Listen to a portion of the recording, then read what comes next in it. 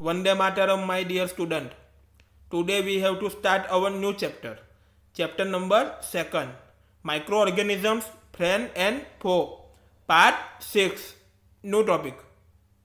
Disease causing microorganism in humans. Start.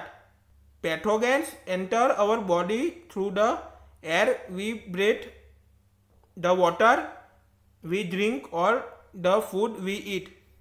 तो पैथोगन्स जो होते हैं, वो हमारे बॉडी के अंदर कैसे एंटर होते हैं कि हम जो हवा थ्रू बीटिंग कर रहे हैं, श्वास लेते हैं, हम पानी पी रहे हैं और जो भी कुछ चीज़ें खाते हैं, उसके थ्रू जो रोगजनक होते हैं, वो हमारे शरीर के अंदर एंटर होते, हमारी बॉडी के अंदर एंटर होते हैं।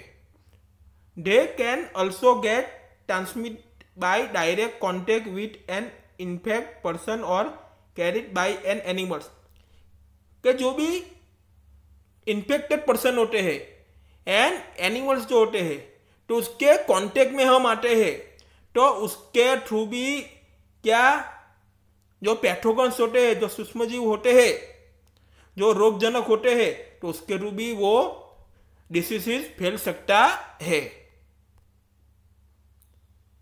Microbial diseases that can spread from an infected person to a healthy person through air, water, food or physical contact are called communicable diseases.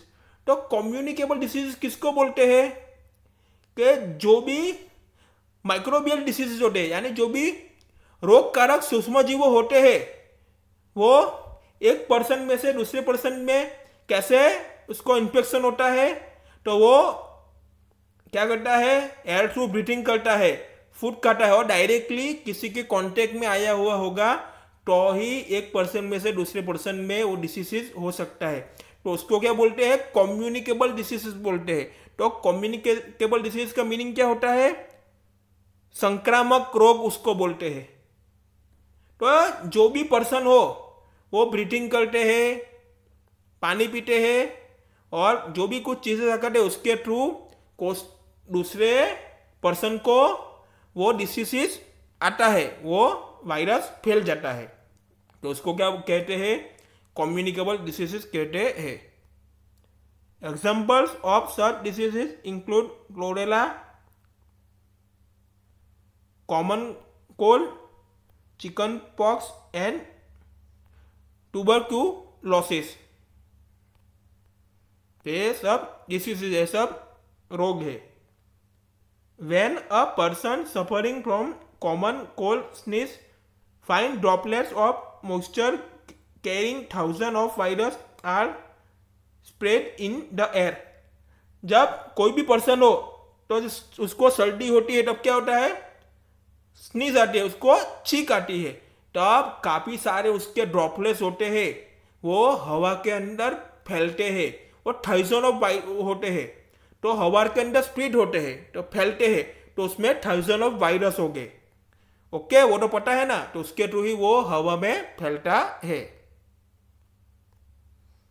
The virus may enter the body of the healthy person while breathing and cause infection के जो भी healthy person होते हैं, वो breathing तो करते हैं, श्वास तो लेते हैं तो वो जो वायरस है तो उनके थ्रू वो वायरस किसमें जाएगा? उनके बॉडी में हेल्थी पर्सन की बॉडी में जाएगा। और उसको क्या होगा? इन्फेक्शन होगा।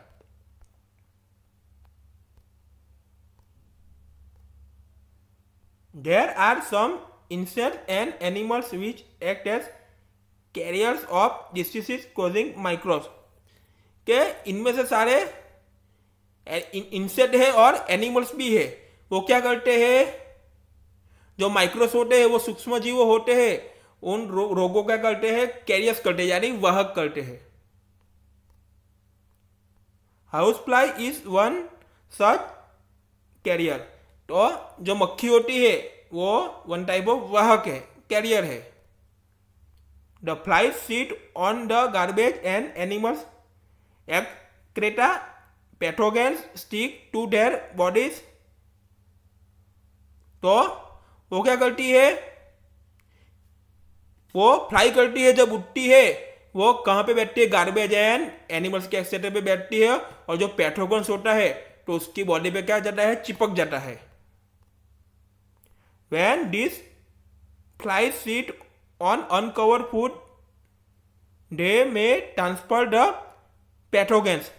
ते वो कहाँ पे उड़ के, जो भी क्या होगा? पैथोगेंस होगा जो भी रोगजनक होगा, वो कहीं भी फ्राई करके अनकवर्ड जो फ़ूड होगा जो ढका हुआ फ़ूड नहीं होगा। और जो फ़ूड ऐसे ही खुले जगह पे पड़े रहे होंगे, उस पर जाके वो सीट हो जाती है, वहाँ पे बैठती है। Whoever eats the contaminated food is likely to get sick, so it is advisable to always keep food cover तो वो जगह पे जाके हाउस फ्लाई बैठती है तो वहाँ पे क्या होता है? उनको जो ऐसा अनकवर फ़ूड खाता है, उनको क्या होता है? डिसीज हो जाता है। तो वन एडवाइस है कि कभी भी फ़ूड को अनकवर करना नहीं है, उसको कवर ही करना है। Avoid consuming uncover item of food तो आपको उनकी काळजी रखनी पड़ेगी कि कभी भी फ़ूड को अनकवर नहीं करना है, वो कवर करके ही रखना है। Another example of carriers is the female ano anopheles mosquito in figure number 2.8 तो अनदर एग्ज़ाम्पल है, वो फीमेल यानी मादा एनोफेलस यानी जो भी मादा क्या होता है मलेरिया के मच्छर होते हैं। वो वन टाइप ऑफ़ कैरियर है, वो वह की है। तो इधर all the student look at the figure number 2.8 female anopheles mosquito है, यानी मादा मलेरिया के मच्छर है। वो वाहक है कैरियर से। Which carrier the parasite of malaria तो वो किसका वाहक है मलेरिया का वाहक है वो मलेरिया का डिसीजेस फैलाते हैं। Female aedes mosquito acts as carrier of dengue virus तो फीमेल एडेस मॉस्किटो होते हैं। वो किसका वाहक होते हैं? वो डेंगू का भी वायरस फैलाते हैं, वाहक करते हैं। How can we control the spread of malaria और डेंगू तो वो मलेरिया एंड डेंगू को फैलाते हुए कैसे कंट्रोल कर सकते हैं?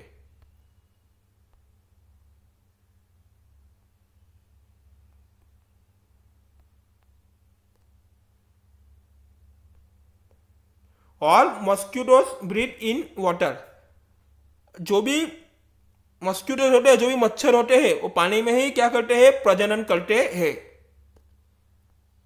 Hence one should not let water collect anywhere in coolers tyre flower pot etcetera तो कभी भी कहाँ पे भी पानी कलेक्ट होना नहीं चाहिए कूलर्स में टायर्स में फ्लावर पॉट में पानी को एकत्रित करने नहीं देना है।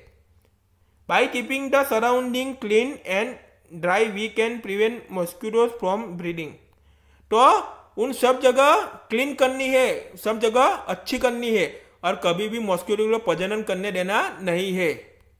उनके हमें ड्राई रखना पड़ेगा। Try to make a list of measure which help to avoid the spread of malaria तो मलेरिया को फैलाते हुए कैसे कंट्रोल कर सकते कैसे अवॉइड करते हैं, वो हमें ट्राई करना है, और मलेरिया को स्प्रीड होने देना नहीं है। Table number 2.1 some common human diseases was by micro organism तो इधर हम पहले देखते हैं। वुमन डिसीज है इसके बाजू में। कॉस्केरियो माइक्रो ऑर्गेनिज्म है मोड ऑफ़ ट्रांसमिशन है और प्रिवेंटिव मेजर्स है। ओके तो अब हम देखते हैं ह्यूमन डिसीजेस में कौन से कौन से रोग होते हैं वो। ट्यूबर क्यूलोसिस, कौन से सूक्ष्म जीव थ्रू होते हैं, वो बैक्टीरिया के वो होते हैं। मोड ऑफ़ ट्रांसमिशन क्या, किसके थ्रू? फैलते हैं एयर के थ्रू। ओके? उसके बाद मीसेलिस तो उसके थ्रू होता है वायरस। और उसके मोड ऑफ़ ट्रांसमिशन कौन है? एयर है। उसके बाद चिकन पॉक्स। कौन सा?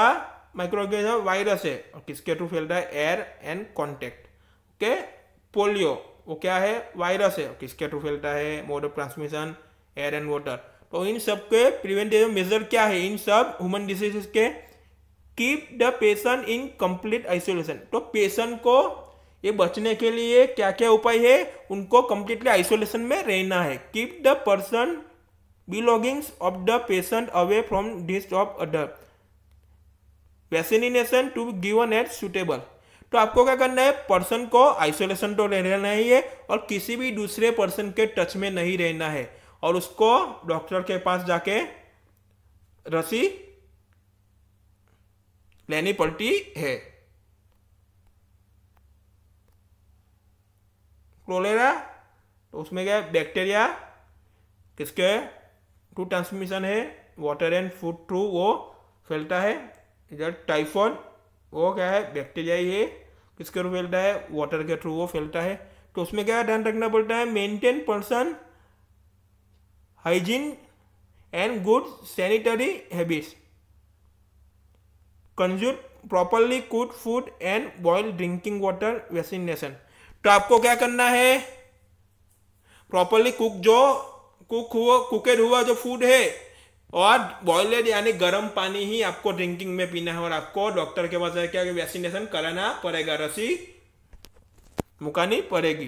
तो ही अच्छा होगा। हेपाटिसिस ए उसमें क्या है? वायरस बोलो ट्रांसमिशन क्या? किसके थ्रू फैलता है? वाटर के थ्रू फैलता है। उससे बचने के क्या drink boil drinking water and vaccination तो आपको गर्म बॉईल किया हुआ पानी पीना है और वैक्सीनेशन कराना पड़ेगा। रसी मुकानी पड़ेगी। मलेरिया, वो क्या है?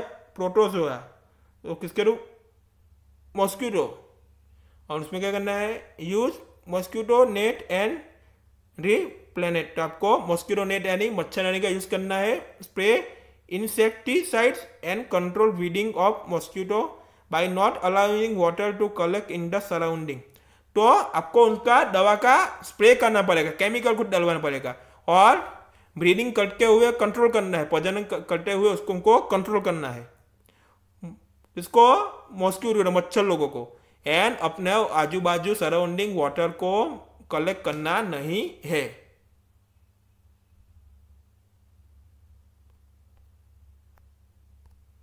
Some of the common diseases affecting humans, their mode of transmission and few general matters of prevention are shown in table number 2.1 में अब हमने ये सब देख लिया इन टेबल नंबर 2.1 में we will meet in next video